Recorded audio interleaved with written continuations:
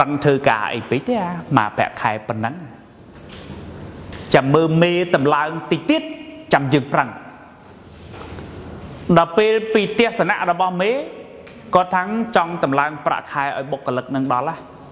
ប៉ុន្តែមើលទៅគាត់ដូចមិនទាន់សូវប្រឹងសោះចាំមើលទៀតដល់ពេលអញ្ចឹងគាត់ថាអាចចាំមើលគាត់ប្រឹងសិនណាចាំយើងតម្លើងប្រាក់ខែឲ្យអញ្ចឹងកូនចៅចាំមើលមេ មេចាំមើលកូនចៅកូនចៅចាំមើលមេ2ឆ្នាំក្រោយគេដេញចោលទាំងពីរពួកដឹកនាំក្រុមហ៊ុនគេអត់ចំណេញមួយថ្ងៃមួយថ្ងៃអត់ប្រឹងយកខួរក្បាលមកគិតពីរឿងធ្វើម៉េចឲ្យវារីកចម្រើនឲ្យវាប្រសើរឲ្យវាល្អមួយថ្ងៃមួយថ្ងៃគិតយកតែខួរក្បាល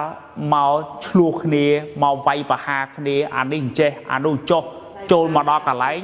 ឮតែអ្នកនេះនិយាយអានោះអញ្ចេះឮតែអ្នកនោះនិយាយថាអានេះអញ្ចេះអញ្ចេះមានក្រុមហ៊ុនមួយចំនួន ចំណាយពេលវេលានិងធម៌ពលជាច្រើនដោះស្រាយវិបត្តិផ្ទៃក្នុងដល់ពេលអញ្ចឹងមានខួរក្បាលមានធម៌ពលឯណា មានពេលឯណាយកទៅគិតពីរឿងអនាគតយកទៅគិតពីរឿង